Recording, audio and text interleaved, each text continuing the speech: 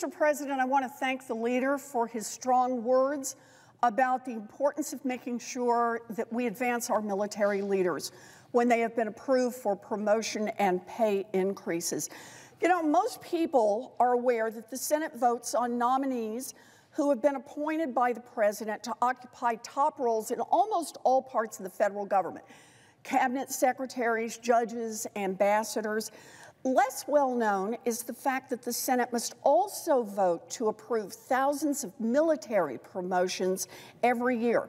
So if a colonel has done well on the job and their services promotion board decides that they're ready to be a brigadier general, the Senate must vote to approve this promotion before it can go through.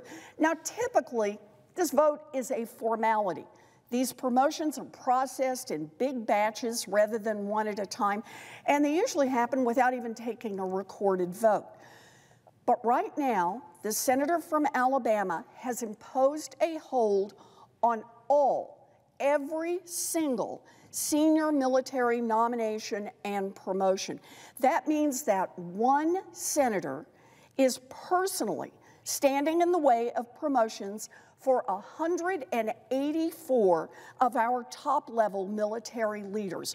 One senator is holding up pay raises for men and women in uniform. One senator is blocking key senior military leaders from taking their posts. One senator is jeopardizing America's national security. Think for a minute about what this looks like. These holds deprive military families of the pay increases that they've earned because the nominee's new pay cannot take effect until the promotion goes through. Without formally being assigned to a change of duty, families can't make decisions right now about moving or enrolling kids in a new school for next uh, school year.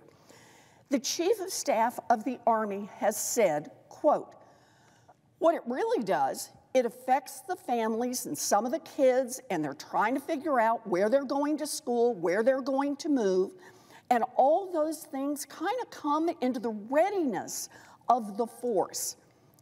For families with special needs, there may be even more significant delays to access important services. Secretary Austin has stated that this delay, quote, creates a ripple effect through the force that makes us far less ready than we need to be. So, why is one senator, one senator, punishing 184 dedicated men and women who actively serve in our military? All because he personally disagrees with a single policy decision from the Pentagon.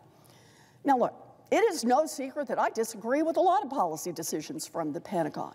And as senators, we have a lot of tools to shape and influence government policies, tools that we can use without putting our national defense at risk. We can pass laws. We can conduct oversight. We can meet with administration officials. We can hold hearings. Occasionally, a senator may object to an individual nomination usually to indicate opposition to that appointment or to insist on answers to questions from a federal agency. I've done this myself in the past, as have many of my colleagues on both sides of the aisle. But that is not what the senator from Alabama is doing. Instead, he is blocking every single top military leader from advancing indefinitely. He's snared all 184 top level service members who are currently slated for advancement, and he stopped every single one of them dead in their tracks. Like me, the senator from Alabama serves on the Senate Armed Services Committee, and as a consequence, he has many more opportunities than most senators to influence DOD policy. He has many more opportunities to question witnesses, many more opportunities to receive briefings, and many more opportunities to influence the annual defense bill that Congress passes every single year to govern Pentagon operations. He has many opportunities that do not actively threaten our national security. He has not raised any individual objections to the 184 service members whose promotions are now held up in the Senate.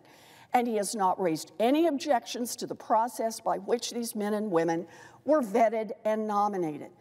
No, the senator is blocking 184 top military promotions because he disagrees with the Department of Defense policy to help service members and their families access needed health care, specifically to travel to access abortion care.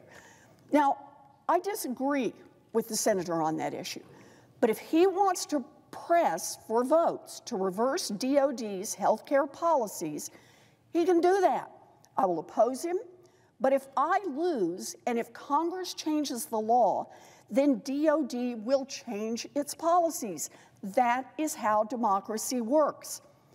Holding up the promotion of every single military nominee isn't democracy, it's extortion.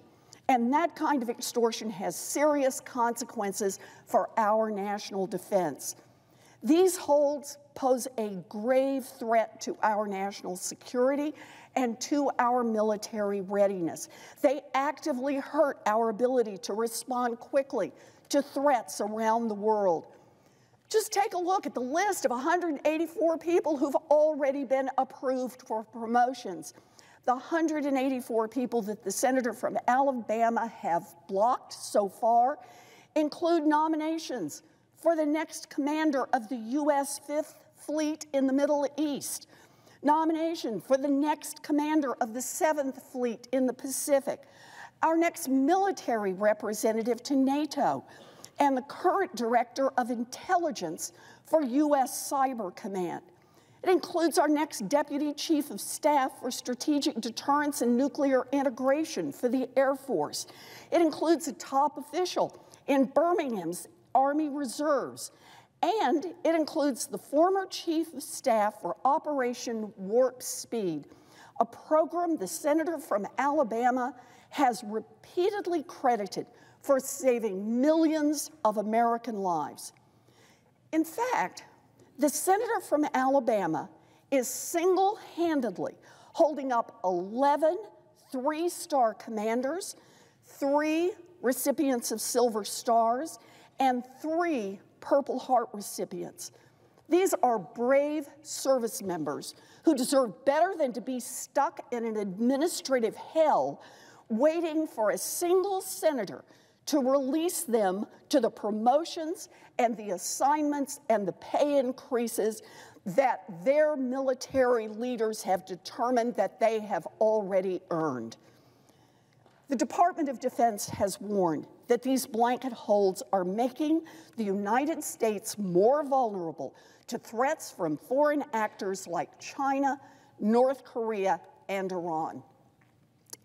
In the coming months, approximately 80 three and four star generals and admirals, including the leaders of the Army, Navy, and Marine Corps, will reach the end of their current terms, and new nominees will be slotted to replace them. In addition, if the senator's reckless hold is not lifted, and if the Senate cannot confirm a new chair of the Joint Chiefs of Staff, the president may be without a principal military advisor. By the end of this year, we could have 650 general and flag officers waiting for Senate confirmation.